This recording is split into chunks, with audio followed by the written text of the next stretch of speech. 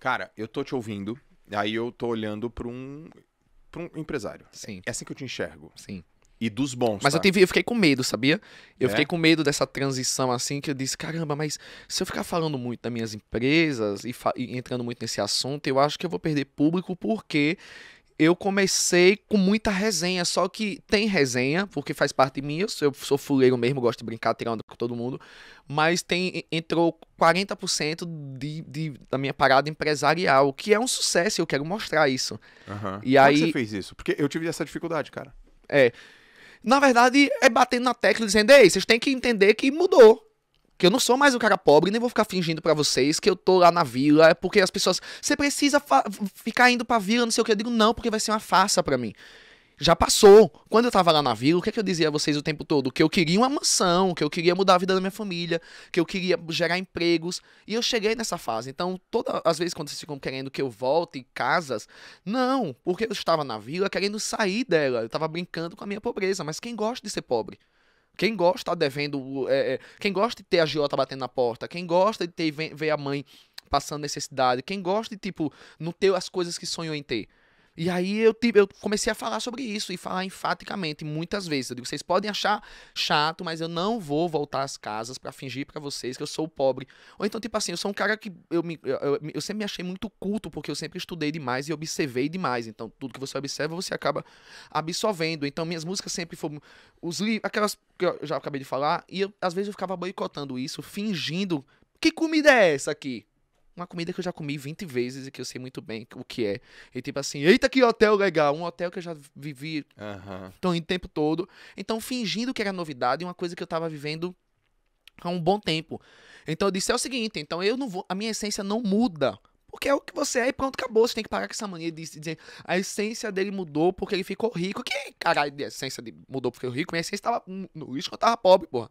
Agora que eu tô dando emprego pras pessoas e vendo pessoas evoluírem, vendo minha família, caramba, e vendo meus amigos, obrigado, você mudou minha vida e tal. Aí sim que mostra a minha essência, porque eu arrastei tudo que eu acreditava comigo. Então, se eu tivesse deixado tudo de lado e continuado sozinho daqui pra frente, aí eu não teria essência. Sim. E aí eu comecei, isso tem que falar.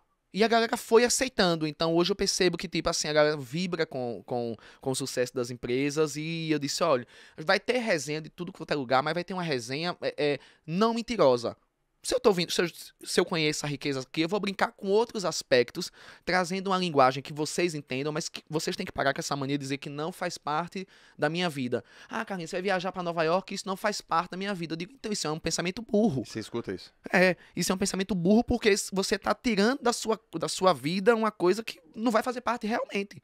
Se você não tá nem querendo ver pra aprender, pra entender, pra ambicionar, e uma pessoa sem ambição é uma pessoa sem sonhos. Uhum. Então essa coisa de querer ver só o que faz parte, o, que- eu tenho na minha vida, então você vai ver- fica olha, assistindo o seu vizinho, voltando do trabalho, entendeu? Fica assistindo o seu vizinho. Então você não quer ambicionar nada, você quer es- estacionar.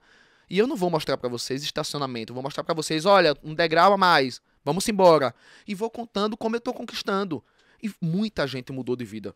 Então, porque eu não sou aquele cara que fica, eu não sou fingido. Eu não tenho paciência, sabe, Joel? Eu sou muito, eu sou muito claro com as minhas coisas, eu sou muito claro, então eu não fico.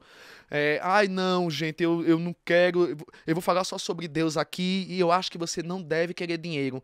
Eu acho que você não deve querer comprar roupa cara. Sim. Ah, que nada, cara. Cada um com seu pensamento, óbvio, mas eu quero o carro, eu quero o melhor carro. Eu quero tirar onda com meus carros, eu quero brincar com isso, porque a vida é hoje, sabe? Eu quero uma casa foda. Eu quero ganhar cada vez mais dinheiro, eu quero viajar para mais lugares. e Eu acho que você tem que querer isso. Essa parada que incutiram na cabeça das pessoas, desde os primórdios, desde a religião, de que tipo assim, não, é dinheiro não. Que dinheiro? Dinheiro é felicidade, caceta. Dinheiro é felicidade porque dinheiro faz com que você tenha menos problemas e dinheiro faz com que você resolva as coisas mais rápido. Aham. Entendeu? Ele não é a felicidade na plenitude. Dinheiro não é Deus, né? Dinheiro não é Deus. Então não, não, não, não coloca dinheiro no lugar de coisas que jamais serão. Então dinheiro não é amor, não é sobre isso. Mas dinheiro é conforto. E quando a gente tá confortável? Quando a gente não tá numa casa com pingueira caindo na nossa cabeça, ou então só com um pedaço de ovo ali para comer, então você tá mais feliz para raciocinar, porque você tem mais e, e- e é isso que eu acabei trazendo nessa nova vida. Então eu aceitei que eu tô próspero e quero continuar próspero e que eu sou um influenciador que veio da pobreza, mas que desde o meu começo lá, o meu lema era acredita, colega. Então Uhum. eu estava acreditando e dizendo para as pessoas acreditarem para continuarem pobres e cada vez voltar para pobreza. Não, eu estava acreditando que ia ser um, um, um futuro melhor desde quando a gente acreditasse, corresse e buscasse. E buscasse.